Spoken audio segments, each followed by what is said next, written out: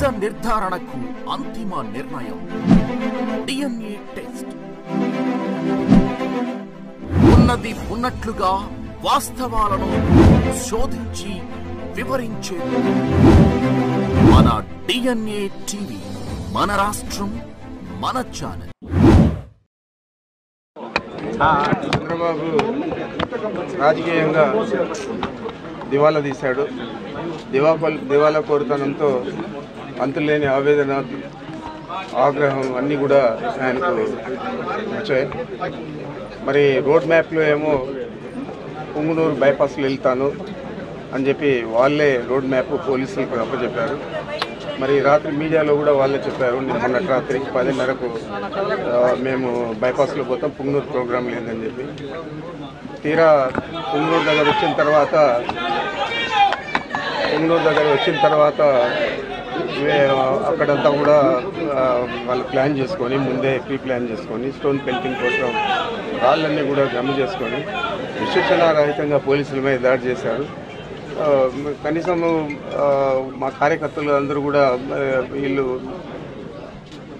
పుంగనూరు పట్టణంలోకి వస్తారనే పట్టణంలో నిరసన కార్యక్రమాన్ని తెలియజెప్పేందుకు కూడా అందరూ కూడా గుమ్మిగూడారు మరి ఆ సమయంలో వాళ్ళకి తెలిసిన ఇన్ఫర్మేషన్ ప్రకారం రోడ్ మ్యాప్లో ఆయన బైపాస్ రోడ్లో వెళ్తూ ఉన్నారు. పుంగనూరు పట్టణంకి రారు. అదేవిధంగా మొన్న రాత్రి కూడా వాళ్ళు ప్రెస్లో చెప్పారు పుంగనూరు ప్రోగ్రాం లేదని చెప్పి. అని చెప్పిన తర్వాత వీళ్ళు కావాలనే అక్కడ కార్యకర్తలందరినీ గుమ్మిగుడ్చుకొని ఆయన రెచ్చగొట్టడం వీళ్ళందరూ కూడా పోలీసుల మీద అతి దుర్మార్గంగా ఈ మధ్య కాలంలో మనం చూసాము ఈ నాలుగైదు సంవత్సరాలలో ఎప్పుడు కూడా ఇంతమంది పోలీసులు దారుణంగా ఇంజురీ అయిన పరిస్థితులు లేవు. మరి ఇదంతా కూడా చంద్రబాబు రెచ్చగొట్టింది. ఆయన వ్యాఖ్యలన్నీ కూడా మీడియాలో అంతా కూడా వస్తూ ఉన్నాయి పత్రికల్లో కూడా వచ్చాయి.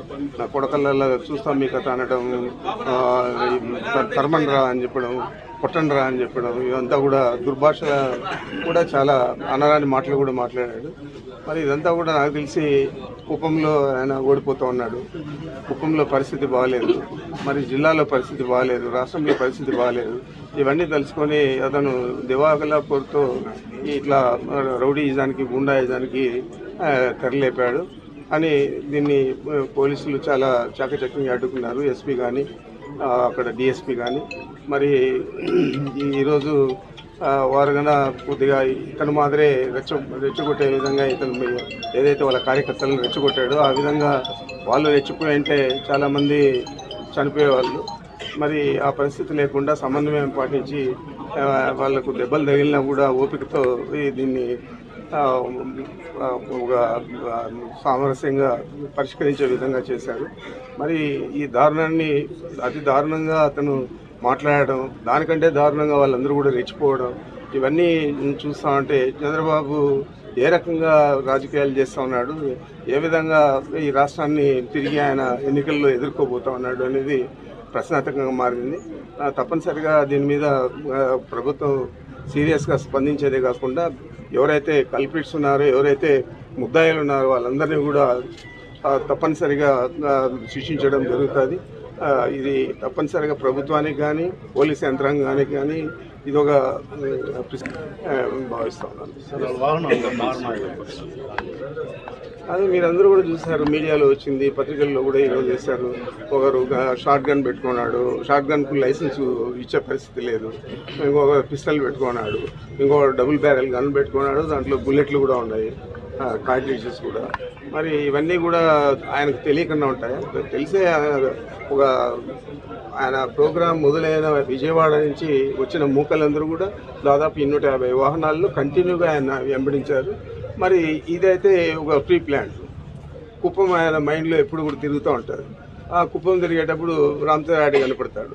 దీంతో ఒక ప్రీ ప్లాన్డ్గా అక్కడ మంగళలో కానీ ఇక్కడ పుంగనూరులో కానీ ఈ విధంగా చేయడం ఆయన ముందే ఊహించుకొని ముందే వాళ్ళు ప్లాన్ చేసుకొని చేశారు. అందుకే ఆయుధాలు తెచ్చుకున్నారు. అందుకే మనుషులను కూడా విజయవాడ నుంచి వచ్చిన వెహికల్స్ మొత్తం కూడా ఈ నూట యాభై బండ్లు కూడా వెనకంటే ఇప్పుడు కూడా ఉన్నాయి. మరి ఈ పరిస్థితి చంద్రబాబు ఎందుకు చేస్తూ ఉన్నాడు అనేది ఆయన ఆయన ఆత్మను ప్రశ్నించుకోవాలి? కానీ ప్రభుత్వం మాత్రం ఊరికే ఉండదు. ఎవరైతే బాధ్యులైనారో వాళ్ళందరినీ కూడా తప్పకుండా అదుపులోకి తీసుకొని సూచించడం జరుగుతుంది. కూడా అప్రమత్తంగా ఉన్నారు. దాని మీద ప్రత్యేకంగా కలెక్టర్ గారు ఎస్పీ గారు శ్రద్ధ తీసుకొని అన్ని కూడా చేస్తూ ఉన్నారు. ఇబ్బంది ఏం లేదు. నిర్ధారణకు అంతిమ నిర్ణయం. డిఎన్ఏ టెస్ట్ ఉన్నది ఉన్నట్లుగా వాస్తవాలను శోధించి వివరించే. మన డిఎన్ఏ టీవీ మన రాష్ట్రం మన ఛానల్.